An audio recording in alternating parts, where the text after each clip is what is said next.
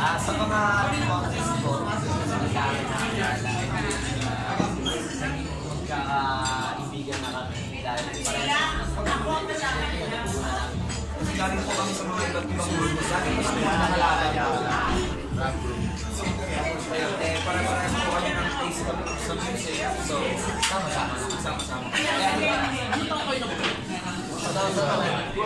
Pero, 2016 na namin ang pag-usapan natin. Pero, pag-usapan natin ang Pilipinas. Lang, lang, lang. Ah, ba dahil makapag-post na or nakapag-post? Yes, so, noon pa man, ah, ba- hindi pa kami magkakilala kasi ah, ano, Magawa namin ang kanta. Ano ba parang isa sa inyo gumawa ng kanta ah, na ah, ano yung napipili ko na magiging single ko? Or na?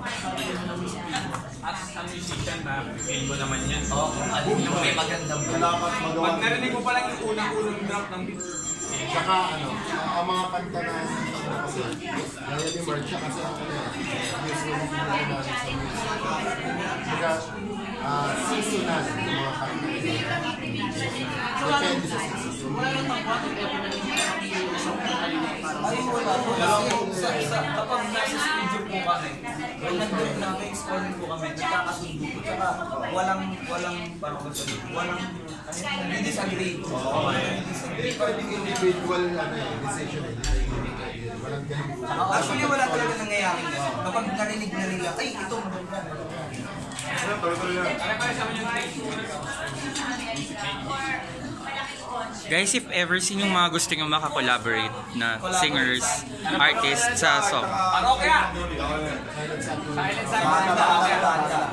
Yan ang yun. Sa, sa hip-hop, mo na kami sa Sa amin muna. Paano nyo nang insing sa niya wala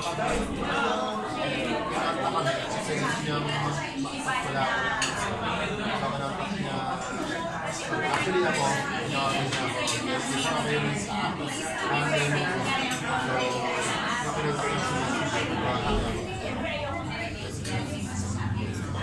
Ngayon, fire uh, uh, super hits ka lang, natanong mo sila. Ano yung nakaramdam mo na from ano yung mahal na mahal na kayo ng bawat isa?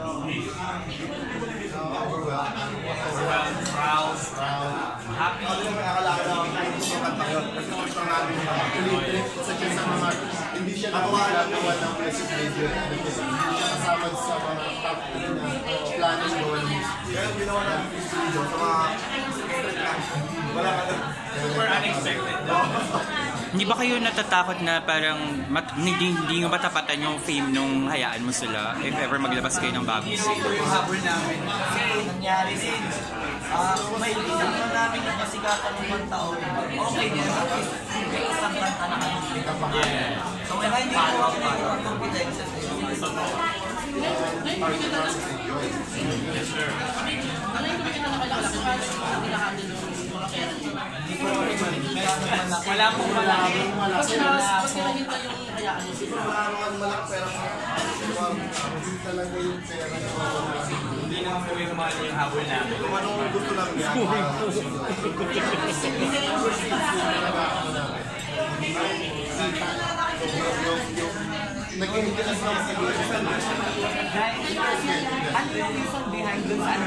Yung mga na delete na kaya yung yung gagawa. kasi na-part ko sila doon. Okay, ako po si wala na SB, kaya, saka mo. Pumalit naman siya. Budget.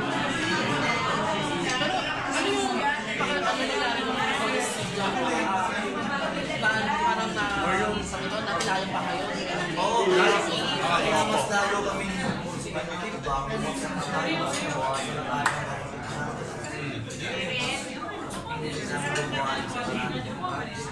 Pero hindi naman ako, hindi siya ramdam na pa. More than parang ah? Nawalan kami ng isang kapatid. kasi siya yung nagpo-chorus. But we're happy to see him na nag, nag, nag-excel din yung career. Ano? Ano masasabi niyo sa mga tao na parang explicit yung mga songs nyo? Nag-iibon sila sa mga kabataan. Ano sinisira? Ano yung Ako, masakali ko lang sila. Guys, hindi nyo lahat ng papakinggan yung pinapatawalahan. Hindi dapat, hindi dapat gayahin. Okay, guys, nasettle na ninyo yung sa music ninyo, yung sa yung sa music ng song. Yung parang yung beat, nasettle nyo na siya with the Oo, wala na po yun. Wala na yun. Okay na yun. Okay na yun. Kailangan namin. Pinaghirapan namin lahat. Ang nangyari po kasi doon, yun yun. May isang underground artist na parang sa